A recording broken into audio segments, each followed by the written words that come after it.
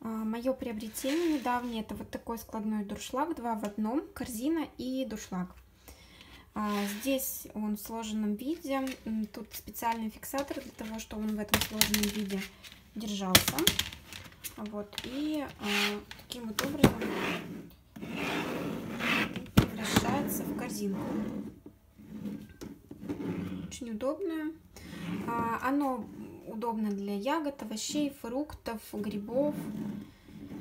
И очень удобно хранить в шкафу. В принципе, оно никак не пахнет, то есть запаха пластика у него нет вообще, мне это понравилось.